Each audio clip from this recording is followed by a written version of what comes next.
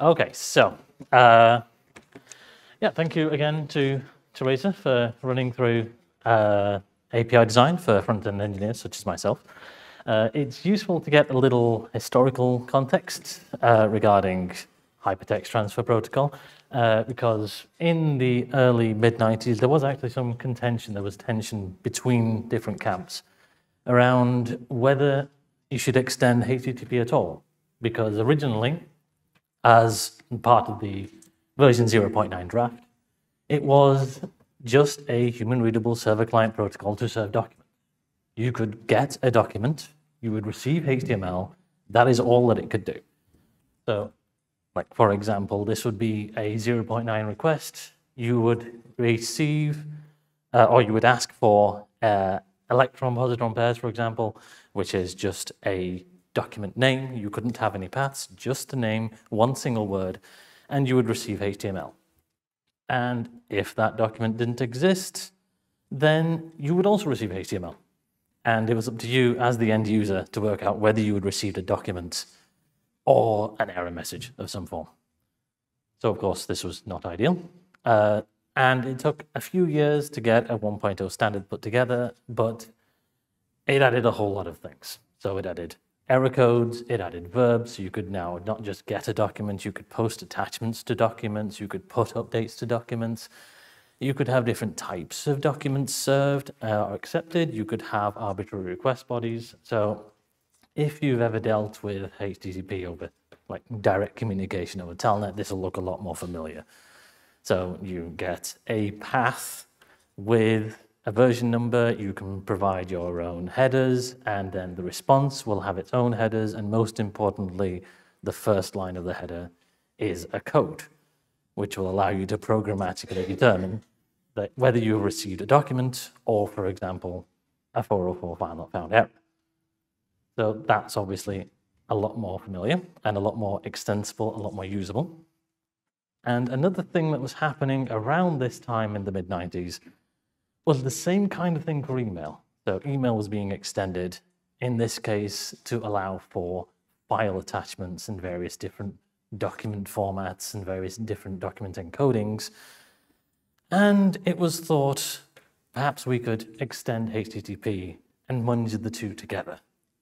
So an example of that, uh, let's say it's 1993, you've been tasked to uh, build a newsletter sign-up form. And obviously the design is from 1993. It's nothing to do with my prowess as a UI designer, I guarantee. Uh, so there's three fields on the form. There's a sign up button, and that is the request that you would, the browser would send to the server. So very simple.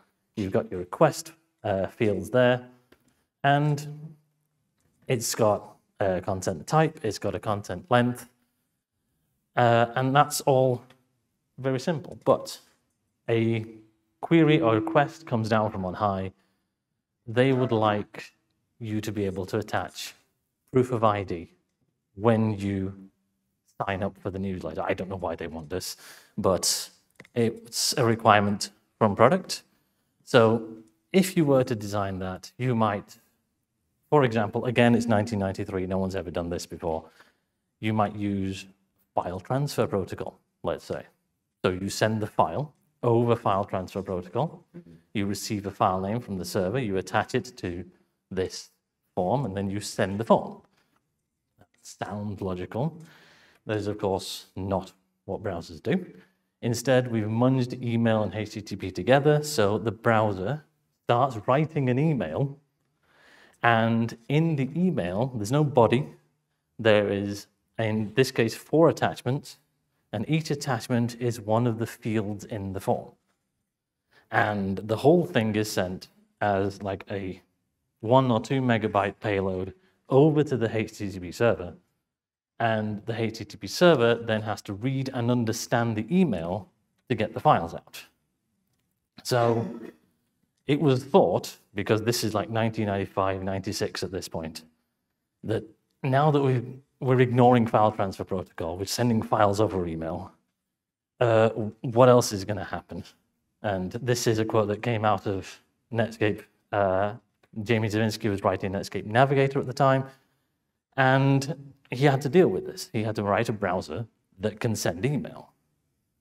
And it doesn't really make sense for a web browser to need to be able to send email, but that's what the standard says. So what else could happen?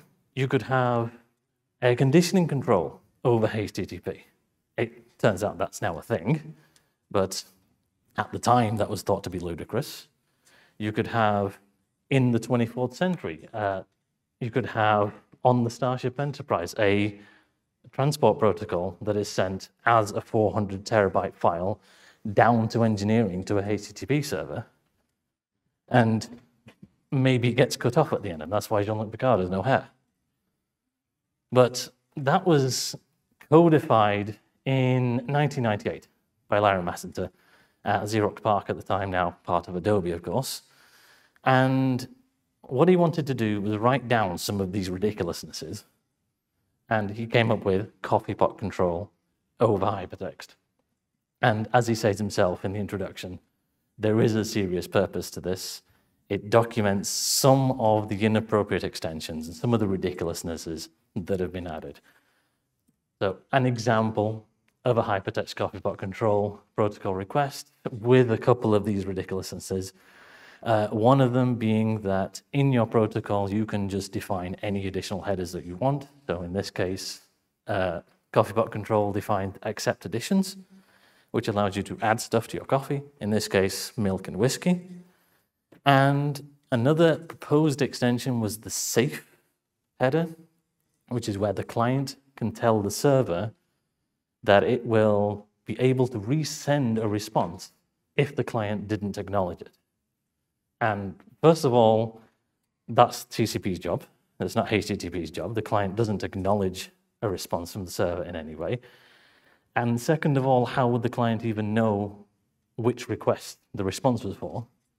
So it was a half-baked extension at the time, but it's still an RFC, it's still documented. And Larry Masinter wanted to get that on paper as being ridiculous as well.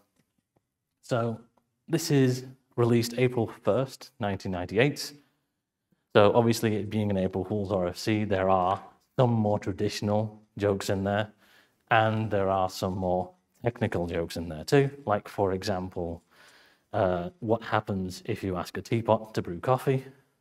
All it will do is tell you, I'm a teapot, uh, and it won't give you any reference point. It won't tell you where you can go for tea. It won't tell you in which format it will accept requests. It just says, I'm a teapot, I'm not going to talk to you. So, as a British Asian with cultural and genetic heritage in tea, this was personally offensive to me. And I came up with uh, a tea brewing extension to Coffee Pot Control Protocol, which was released in 2014. Uh, you're never going to see this in production, but just in case, here are some examples of how you would write a request to a teapot that talks the teapot brewing extensions. If you ask for a brew, uh, in this case with milk and two sugars, uh, it will not send you a 200, it will send you a 300 multiple options, and it will provide you with alternatives. If you want coffee, it will tell you where to go for coffee. If you want various types of tea, it will tell you where to go for tea. And in this case, I would like to have peppermint tea with milk and two sugars. And the RFC defines whether the teapot will accept your request. In this case, peppermint tea with milk and two sugars is forbidden. So you can't have that. So going back to the question that we had at the start, uh, inappropriate extensions of HTTP. Is there, well, is REST an inappropriate extension? And in my opinion, no. Because like, if, if you could take the original HTTP, it's receiving documents, it's posting updates to documents, it's getting a list of documents. And if you do that on database rows, you can map all of those things. You can get a particular database entry from a table. You can add new rows to the table. You can get a list of documents, which is just all of the rows in the table. So it maps, it's logical extension. And you may come across this argumentative, argumentative debate on various things, like not just protocol specifications, but in your workplace, it's on design of various things. Uh, in the design document, you might find that the person who designed the technical implementation has gone about things one way, you disagree, you have argumentative debate, but it is important. Uh, we have a principle at my current workplace disagree, then commit, which is that you can have this argumentative debate, but once it's been decided, you should commit to what has been decided. And if you have any further ideas, you can propose extensions and you can propose new versions. Uh, other questions I get asked now and again are there any physical coffee pot control protocols? Uh, coffee pots? Uh, and the answer is no. I couldn't find any coffee pot control protocol coffee pots that actually talk the protocol. I could find a few teapots, but of course, again, all they have to do is say, I'm a teapot, go away. So that's not a very difficult, technically difficult project. But there is this, which is uh, a project from the University of Maryland hackathon in 2018, I think. Uh, and that is the Hacked Together Coffeepot Control Protocol, Coffeepot, and it won the prize for largest number of things in its tech stack, which I don't know if that's a prize that you want to win. Uh, and the other question that I get asked is, what's in this cup? Uh, what's my favorite cuppa? Uh, and I don't actually drink tea anymore. More of a black coffee guy. But uh, yeah, I mean, that is all I have for you today. I'm back again tomorrow on a different topic, but thank you very much.